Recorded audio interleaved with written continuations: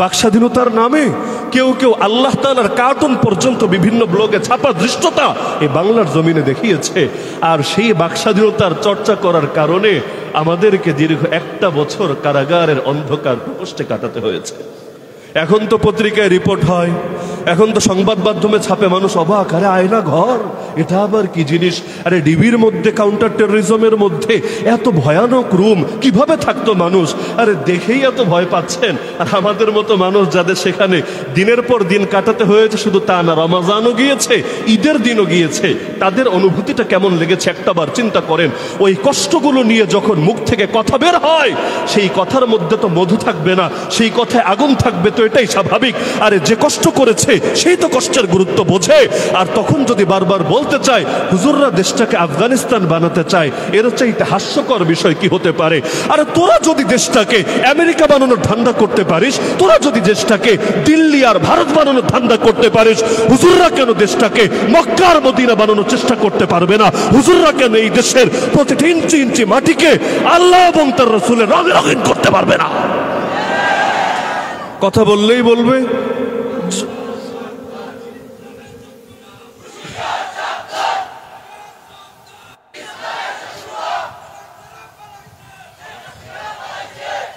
কথা বললেই বলবে। চলে যাও আফগানিস্তান, চলে যাও পাকিস্তান, চলে যাও সৌদি। আলিক মানে আল্লাহর জমিন, আল্লাহর কথা বলতে চাইলে দেশ ছাড়তে হবে, আর আল্লাহর জমিনে শয়তানের কথা বলতে চাইলে এখানে বসেই বলা যাবে। আরে তোদের ভালো না লাগলে তোরা চলে যায় না আমেরিকা? কে না করেছে? তো আয়াতের প্রথম অংশই এটা, যে আমি আল্লাহই ক্ষমতা দেই। ক্ষমতার মালিককে এই আকিদা বাংলার মুসলমানের প্রত্যেকের অন্তরে অন্তরে ঢুকিয়ে দিতে হবে ক্ষমতার মালিক জনগণ না। আজকাল তো গণতন্ত্র তো এটাই শেখায় যে সর্বময় ক্ষমতার মালিক জনগণ। ভুয়া কথা, কুফরি কথা, সিরকি কথা, যে বিশ্বাস করবে সে বেইমান হয়ে যাবে। আরে ক্ষমতার মালিক কে? ক্ষমতার মালিক কে?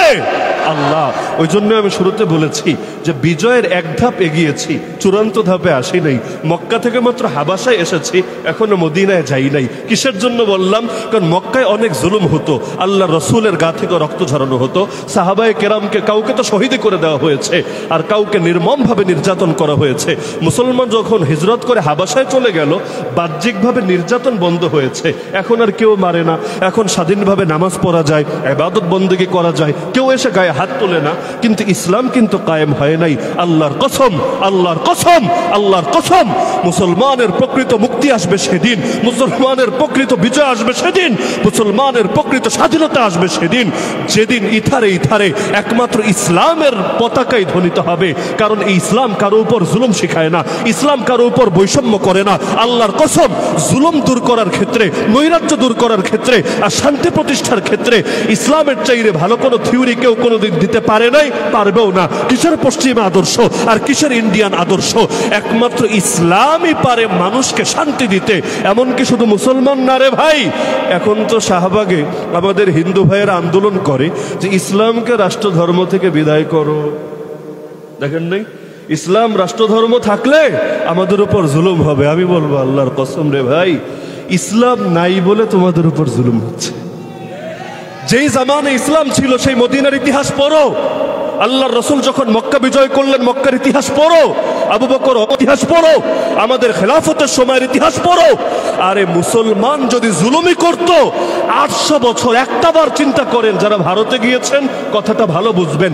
আটশো বছর পর্যন্ত মুসলমান গোটা হিন্দুস্তান, শুধু বর্তমান ভারত না, গোটা হিন্দুস্তান শাসন করার পরও এখনও পর্যন্ত ভারত হিন্দু সংখ্যাগরিষ্ঠ থাকে কীভাবে? আমাকে বলেন। মুসলমান যদি জুলুমি করত, সবাইরে পিটিয়ে পিটিয়ে মুসলমানই তো বানিয়ে ছাড়ত।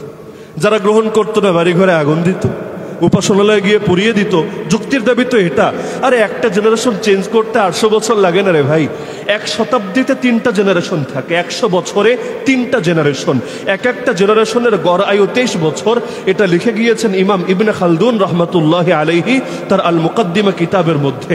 তাহলে এক শতাব্দীতে যদি তিনটা জেনারেশন থাকে, তাহলে আট শতাব্দীতে কতগুলো জেনারেশন তিন দিয়ে পূরণ করলে বের হবে? এতগুলো জেনারেশন লাগে নাকি? হিন্দুরে ধরে ধরে মুসলমান মুসলমান বানাতে ইসলাম জুলুম শিখায় নাই। ইসলাম নাই বলে তোমরা জুলুমের শিকার হচ্ছ। কারণ বিভিন্ন জন নিজেদের রাজনৈতিক ধান্দা পূরণ করার জন্য তোমাদেরকে টার্গেট বানাচ্ছে।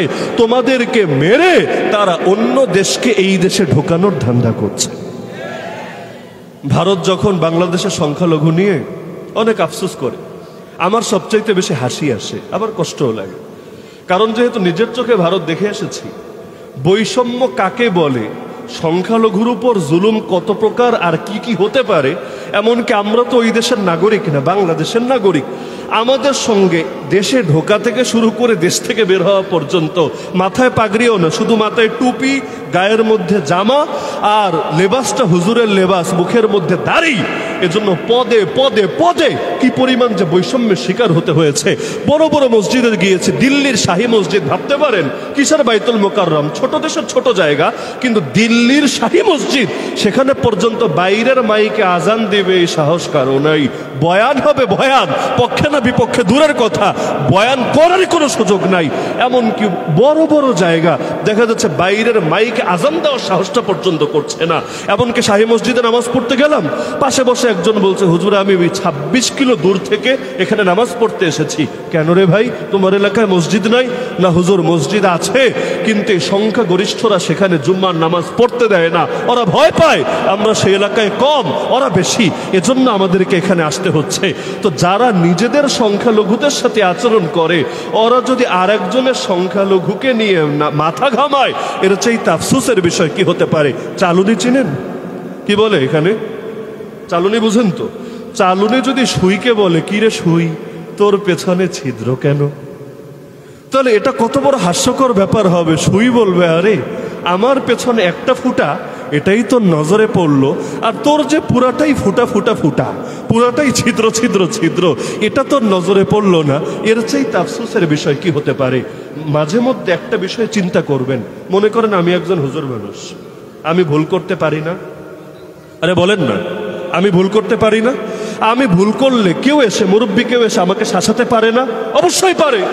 কিন্তু আমি যেহেতু হুজুর আমাকে শাসানোর পর আমি যদি বলি, দেখেছ, ও হলো হুজুর বিদ্বেষী, আলেম বিদ্বেষী, ধর্ম বিদ্বেষী, কোরআন বিদ্বেষী, ও কাফের, ও বেইমান ও নাস্তিক, ও মুরতাদ। আমার ফতোয়া কি ঠিক হবে? আরে বলেন, আমার ফতোয়া কি ঠিক হবে? আচ্ছা সমাজে কি শুধু পুরুষ ভুল করে, নাকি নারীও ভুল করে? নারী ভুল করতে পারে না। এখন একজন নারী ভুল করল, মনে করেন সালিশি হলো, তাকে ধমক দেওয়া হলো, বিভিন্ন বকাঝকা করা হলো এখন সে গিয়ে মিডিয়ায় বলল, আমি নারী বলে আজকে আমার উপর নির্যাতন হয়েছে। আমি নারী বলে আজকে আমাকে বকাঝকা করেছে। এরা নারী বিদ্বেষী, এরা নারীর শত্রু। এগুলো বাংলাদেশে চলছে আজকাল। তাহলে দেখা যাচ্ছে, আচরণ করা হয়েছে এক কারণে, কিন্তু কাহিনীটাকে সাজানো হচ্ছে ভিন্ন কোনোভাবে। মনে করেন, বাংলাদেশের মধ্যে হিন্দু নাই, খ্রিস্টান নাই, বৌদ্ধ নাই, মুসলমান নাই মুসলমান ধরেন যারা রাজনৈতিকভাবে বিশেষ কোনো দল করে, দল করার কারণে তাদের উপর এই কয়দিনে বিভিন্ন অ্যাটাক হয়েছে, সহিংসতা হয়েছে। মনে করেন আমরা, বাহ্যিকভাবে আমরা কোনো সহিংসতা সাপোর্ট করি না, কিন্তু যেটা হয়েছে এটা তো অস্বীকার করা যায় না। তো মুসলমানের উপর যখন হলো, কেউ কিন্তু বলে নাই হামলাকারীরা ইসলামের দুশ্মন। যখন কোনো হিন্দুর উপর আক্রমণ হলো, এ কারণে না যে সে হিন্দু, বরং এ কারণে সে অমুক দলের অনুসারী, তখন ঠিকই বলা হচ্ছে বাংলাদেশে হিন্দু নির্যাতন হচ্ছে, বাংলাদেশে সংখ্যালঘু নির্যাতন হচ্ছে। আরে যুদ্ধ লাগাও বাংলাদেশে, আরে বাংলাদেশে এই হুজুরগুলারে দমন করো, বাংলাদেশটাকে ধর্মমুক্ত রাষ্ট্র বানানোর তদবির করো। এগুলো হচ্ছে নাকি হচ্ছে না?